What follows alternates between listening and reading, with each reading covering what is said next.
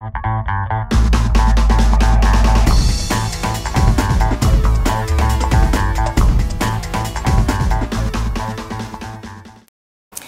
quest'anno per il settantesimo insieme all'Ampi abbiamo voluto fare un uh, lavoro un po' più articolato che mm, comprendesse appunto tre, tre giornate.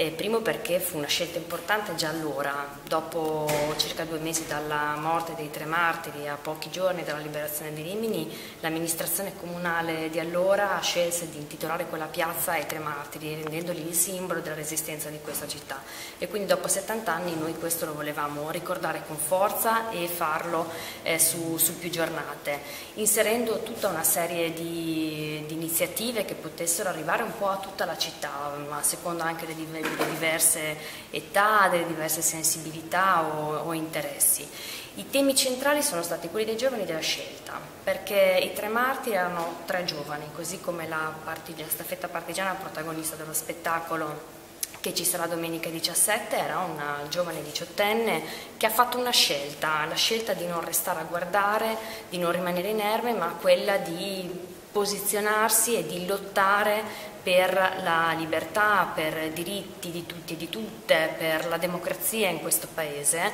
e per consegnarci un Paese diverso. E quindi eh, all'epoca i giovani in massa fecero questa scelta importante, decisero di cambiare uno stato di cose e abbiamo voluto provare anche ad attualizzarle, proprio perché sono passati 70 anni e non può essere un mero ricordo, ma deve essere un'attualizzazione un di quello che è stato il percorso percorso fatto da tanti ragazzi partigiani che hanno voluto eh, ribellarsi al nazifascismo. E quindi su questo ci siamo concentrati, abbiamo coinvolto anche i ragazzi del progetto Memoria proprio perché dal viaggio ad Auschwitz con loro quest'anno abbiamo lavorato molto sul tema della scelta, quindi sulla figura delle vittime, dei carnefici ma degli spettatori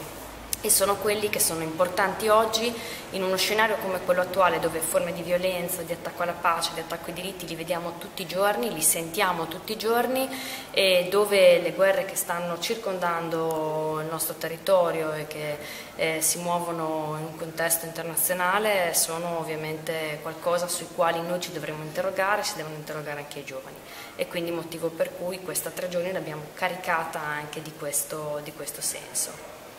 Eh, quest'anno come Ampi di Rimini abbiamo scelto di celebrare eh, l'anniversario, che è il settantesimo,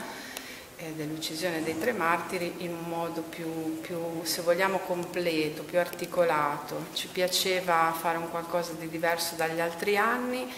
celebrarlo cercando di avvicinare più persone possibili anche con eh, gusti anche musicali diversi, con sensibilità diverse, per questo abbiamo proposto una serie di eventi spettacolo che spaziano da un concerto dei Cora Canè, che è quello della serata principale, quella del 16, al concerto della Mondaino Young Orchestra, che è una realtà del nostro territorio di giovanissimi, quindi si lega col tema di quest'anno appunto che è le resistenze di ieri e di oggi, quindi come eh, trasmettere il valore della resistenza ai giovani. La Mondaino Young Orchestra è un'orchestra di giovanissimi, l'età media di 15 anni e, ed ha un legame con il nostro territorio, così poi come i Coracanè che sono comunque di, della zona di Forlì Cesena e eh, lo spettacolo di Marta Cuspunà, che è la storia di Ondina Peteani, una giovanissima eh, partigiana, la prima partigiana deportata ad Auschwitz, che è la domenica pomeriggio, il 17 alle ore 18 al Teatro Tiberio. E anche lì è un po' una sfida perché domenica pomeriggio a, Rimini non è facile riempire un teatro, ma chi, lo, chi parteciperà sicuramente non rimarrà deluso perché è uno spettacolo molto bello, molto intenso, con linguaggi anche diversi dai soliti ed è una, uno spettacolo che qualifica comunque il, eh, così, queste celebrazioni con uno spettacolo un pochino più impegnato rispetto invece ai momenti musicali. La, la, sera del 15 è un appuntamento invece un po' più intimo, è stato detto. No? Sì, abbiamo voluto anche ricordare luogo dove i tre martiri sono stati, quindi tre ragazzi giovani che era la, sera di Ferragosto sono stati imprigionati in quella che era allora la caserma dei carabinieri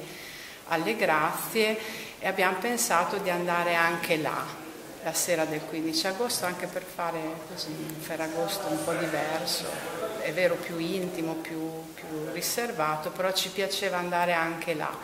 70 anni dopo, nel luogo dove sono stati incarcerati, sapendo che la mattina dopo sarebbero stati uccisi per le loro idee.